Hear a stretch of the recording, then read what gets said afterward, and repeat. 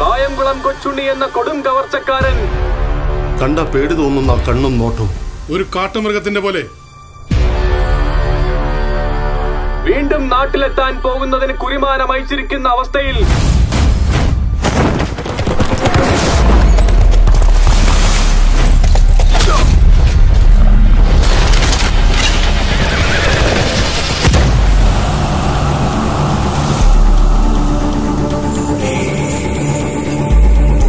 was just a highway thief. രണ്ടാമത്തെ പ്രാവശ്യമാണ് നിങ്ങളുടെ കൺമുമ്പിലൂടെ അവൻ വന്നു പോകുന്നത്. മൂന്നാമത്തേതിന് ഞങ്ങൾ കാത്തിരിക്കണോ? കള്ളം പാപ്പുട്ട മോൻ. നിനക്കിവിടെ പഠിപ്പില്ല? ശൂദ്ര പെണ്ണിനും ഇഷ്ടം തോന്നാം. മനസ്സുകൊണ്ടുള്ള ശരിക്കുള്ള ഇഷ്ടം.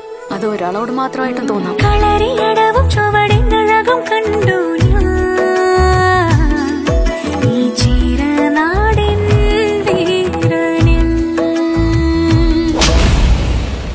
പുസ്തകം ഉണ്ടല്ലോ അതിൽ എഴുതി വെച്ചിട്ടുണ്ട്. ആരൊക്കെ കൊടുക്കണം ആരൊക്കെ കൊടുക്കണ്ട. ബ്രാഹ്മണന്മാര് തന്നെ. ഒരു ശൂദ്രപ്പെണ്ണിനെ നിക്കാഹ് ചെയ്യണം. ഇനി അവരും ശാസ്ത്രം പറഞ്ഞു തുടങ്ങും. അതും കാണേണ്ടി വരും നമ്മൾ. ഒരു കായംകുളം കൊച്ചുണ്ണി. കൊല്ലണം.